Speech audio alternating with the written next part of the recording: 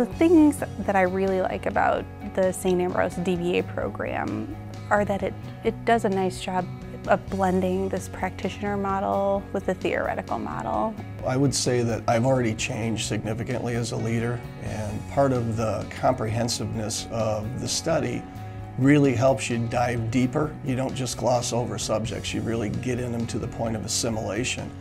And what I hope is to continue to be able to take that information and the knowledge that I've gained and basically spread that out to the organization and end up with a better company and better people because of it. I think, especially in my field in accounting, there's a shortage of uh, professionals that have doctorates and that you know, this DBA certainly helped me in my uh, career path and I, I believe that other people could benefit from it as well.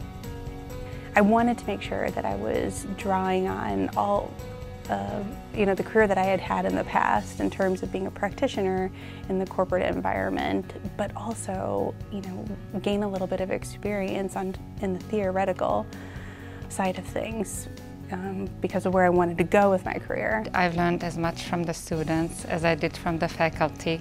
They were all from different industries in the community, came in with a plethora of experiences and the discussions were very interesting and exciting during class. And I have no doubt that uh, achieving the DBA helped me to get tenure and now I'm promoted to a full professor and I, and I don't think I would have been able to do that without the DBA. How it prepared me to think and uh, to strategize and um, to look uh, into the future opened up a lot of doors for me as far as um, my career is concerned. I, I think one of the most important things for me was to be able to pursue the degree while still maintaining full-time employment. And based on where St. Ambrose is located, very easy for me to work all day and then get myself to a classroom a few days a week and pursue the doctoral degree. That and the staff, the facilities, and the curriculum to me were all top-notch. I, would just like to emphasize the uh, the terrific faculty at St. Ambrose and the fact that you know I look at them as colleagues now and uh, certainly they've helped me in my career and I know that they can help others in their careers. I would mention is for any students that are actually considering continuing their education, I would encourage it because it's a lot of work, but the payback is significant and you'll find out that as a leader or as a manager, you will end up changed when you're done with the program or as you come through the program very worthwhile.